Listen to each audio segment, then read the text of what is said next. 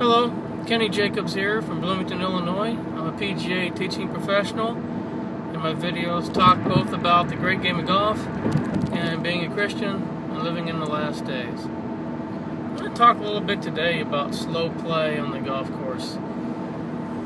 You know, the, the big thing is to just be ready when it's your turn to hit and play ready golf. We don't need to worry so much about honors and who's supposed to tee off first or who's out. If you're ready to hit, hit. And also, do your preparation for the shot that you're going to hit while other guys in your group are hitting their shot. That way, you still have time to make your practice swings that you want to make, and you have time to do your pre shot routine. And have a pre shot routine. If you have a pre shot routine and you practice it and you work on it, it really ought to take only about 12 to 15, 20 seconds at the most to go from your practice swing to your address position and actually hitting the shot. You'll play better golf if you don't stand over the ball as long. You'll definitely play better golf if you don't overthink things. And as long as we're in a good rhythm and we keep moving, it's definitely easier to play good golf. Um, how many of you have ever had a situation where you're trying to get as many holes as you can in before it gets dark or before it starts raining or something, and you just kind of play pretty fast? Um, and a lot of times you play really good golf when you do that because you're not overthinking things.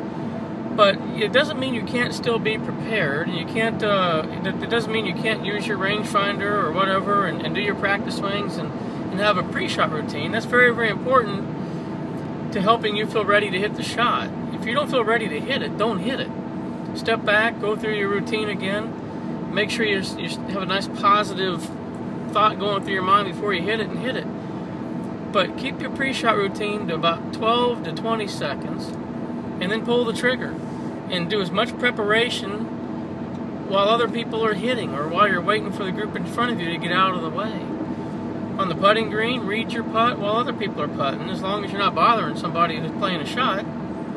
Um, and play ready golf. When you get to the tee and you're ready to go, hit it. And that way we can keep the pace of play going. And uh, you'll also play better golf. Now, you also want to be ready for the end times. Jesus said, Watch and pray always that you are counted worthy to escape all the things that are going to come to pass in the last days. And then he told a parable of the ten virgins, where five of them were ready to go with the bridegroom when he came, and five of them weren't. They didn't have oil for their lamps. And when they heard that the bridegroom was coming, they went to find oil, and by then the bridegroom already came and took the five that were ready and then when the five that weren't came and knocked on the door, they wouldn't let them in. The door was shut. We need to be ready at all times. We don't know the day or the hour that Jesus is coming back, but we know He is coming, and we need to be ready.